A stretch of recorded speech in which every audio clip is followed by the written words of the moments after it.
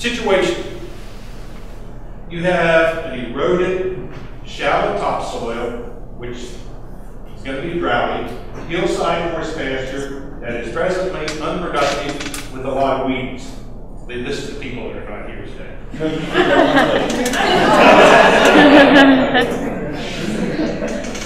you want to improve so you plan to renovate and reseed.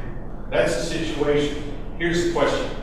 What grass did you select to plant on this hillside, and why did you choose that particular grass? That's what I'm here to learn. That's what she's here to learn. okay, before, you know, what's what's typically the grass species that's preferred within the horse industry? Tall fescue. It's orchard grass. Most of the horse people that uh, you know I talk to, the tall fescue is a of word. Okay, wrong one. no, uh, but no, hang, hang on to that. Okay. They, uh, but with you know what I see within the horse industry, orchard grass is the preferred grass species for uh, you know, horse pasture. Why? You know, it's very palatable. Um, they uh, much more palatable than uh, you know tall fescue, particularly uh, you know if they have a choice. But the uh, if you look at what's the most important factor to be considered in selecting appropriate plant species to be seeded on any given field. You know, as individuals, we tend to have a preference, generally orchard. But what really should we be looking at in making the decision of what should be planted? What grows best, you know, the, uh, the soil. So, uh, you know, if we look at the things that, uh, you know, we need to consider, soil and site characteristics are the primary thing. The first thing we need to look at. So, uh, what's involved with soil and site characteristics? We look at soil type, and soil suitability.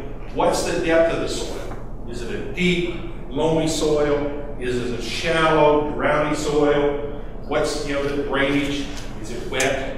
Um, what's the soil fertility? You know, grasses differ in their fertility requirements. Fescue is adapted to lower pH, lower fertility soils than is tall fescue.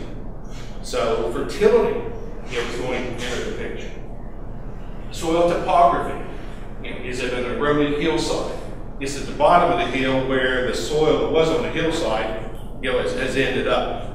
So these are all considerations we need to uh, keep in mind in selecting what we're going to plant on the pasture. So these factors determine what you can grow on that particular field.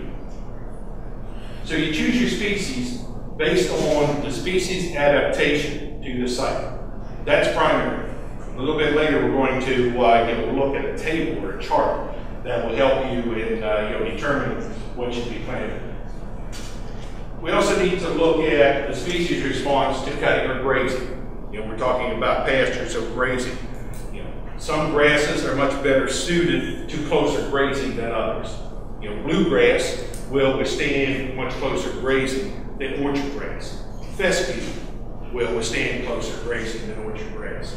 So, you know, you need to look at what's your management. Uh, you know, are, are you in a rotational grazing system or are you continuously grazing? Forage yield and the seasonal distribution of growth. You know, the more pasture we can grow throughout the, uh, the growing season or extending the growing season, the less hay we have to feed. So, and actually in this area, one of the things you know, we'll look at this afternoon is most years, particularly a winter like last winter, if we had enough tall fescue pasture, we could have grazed all winter long because we had no snow. And it was warm enough that fescue grew some days, even in January. So uh, we look at not only yield, but the distribution of growth. Palatability and nutritional value, that's a big thing with uh, you know, horse owners, palatability. And uh, so certainly uh, something to be considered. And then the one that I think is becoming more and more important, um, and know, we're going to come back to this, but uh, you know, persistence. how long is what you plant going to last? If we look at orchard grass adaptation, orchard grass is best adapted to a medium textured, uh, moderately well-drained to well-drained soil. It will not tolerate wet areas as well as tall fescue or reed canary grass. And I'm going to, you're going to see reed canary grass up here, uh, you know, a number of times. For pasture purposes, I generally do not recommend reed canary grass because it is not well suited to frequent grazing or cutting. So you're going to see it because of where it's adapted, but in most cases, we're not going to use it for pasture purposes. I use it for, uh, you know, hay purposes. But the key thing is, orchard grass is best, best adapted to medium textured, moderately well-drained, well-drained soils. It is less drought tolerant than tall fescue, reed, canary grass, or smooth brome grass. Persistence may be a problem on south slopes having droughty, shallow soils. So uh, it's not going to uh, you know, do as well on a droughty site or that eroded hillside. It's just not going to uh, persist. It is less heat tolerant than tall fescue, smooth brome grass. If fertility is allowed to drop or stands are grazed hard, most horse pastures are grazed hard. It's particularly during the summer, stand life will generally not exceed two to four years. We have uh, hay growers in southern Maryland who are losing orchard grass stands within a year of planting.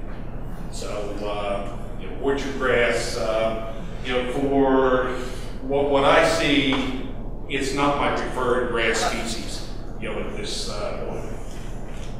If we look at the species ranking, uh, and their adaptation to poorly drained soil conditions. Reed canary grass is best adapted, timothy, tall fescue, smooth brome grass, perennial ryegrass, orchard grass. Of all these grasses, is least adapted to poorly drained soils. And one of the things I've seen with hay growers is, uh, you know, the problems that they have had with timothy over the years, and a mite that affects timothy, and they have switched to trying to grow orchard grass on timothy ground, and it doesn't work. Orchard grass has very specific requirements it's going to be persistent. What I see with hay growers is they're trying to grow orchard grass on timothy ground, and it's not working. If we look at species ranking uh, to excessively drained soil conditions, reed canary grass, tall fescue, orchard grass in this case in the middle. If we look at it for low soil pH, fescue, reed, canary grass, timothy, orchard grass, somewhat above the middle. So, you know, not well suited to uh, low pH uh, conditions. Where overwintering of the grass is concerned, under intensive uh, you know, management, reed, canary grass, timothy, tall fescue, smooth brome, orchard grass, and So again, it's not well suited to intensive management particularly where uh, you know it's going to be intensively used, and then we may have you know cold winter conditions. That intensive management and, uh, and cold weather uh, you know doesn't uh, favor uh, you know, orchard grass. So these are some things to keep in mind in terms of you know selecting your uh, species for what's suited to your you know soils and sites. This is a table that I referred to.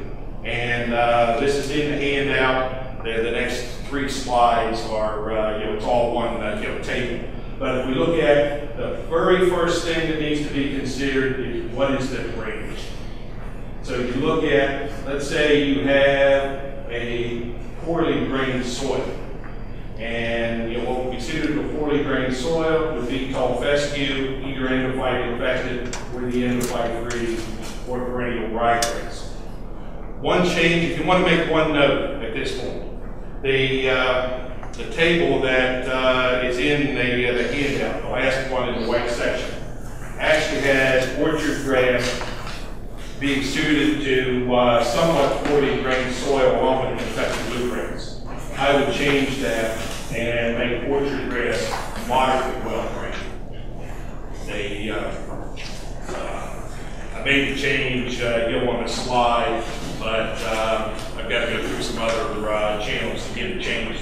Uh, this publication came off uh, our website. But the first thing to look at, say orchard grass should be moderately well drained rather than somewhat poorly drained.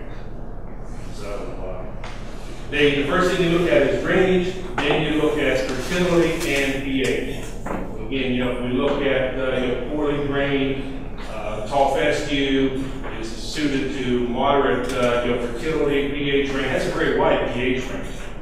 Basically, the widest pH range, uh, you know, of all the grasses. If you look at orchard grass, fertility requirement, basically, uh, you know, the same, the pH range is now.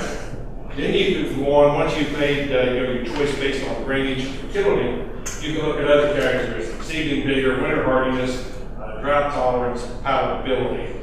And then finally, uh, what type of growth habit, it was a bunch grass, open sod, or, uh, it was a, uh sod former. You know, Bluegrass, smooth, uh, grass are both, uh, you know, sod formers. Again, you know, for this area, we're really out of, uh, smooth, or, yeah, smooth brome grass, uh, you know, territory. So that's a table that you can go to. You know what your soil type is. If you do not have a soil map of your farm, you know, whether it's a two acre farm or a two hundred acre farm, you need a soil map to know what soils you have and where. Um, you know, if you have ten acres, you may have three or four different soil types. You need to know where they are. Basically, if you want to grow orchard grass, you need to put it on the best soil.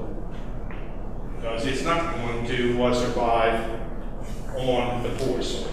So you need to know where they are, and, um, you know, if you don't have it, go see your, uh, your local, uh, soil conservation, uh, district office, and, you know, get the map and the uh, soil description.